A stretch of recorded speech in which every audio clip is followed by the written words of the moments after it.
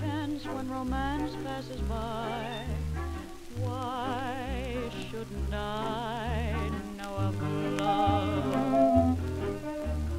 Why wait around when each age has a sage who has found that upon this earth love is all that is really worth thinking of?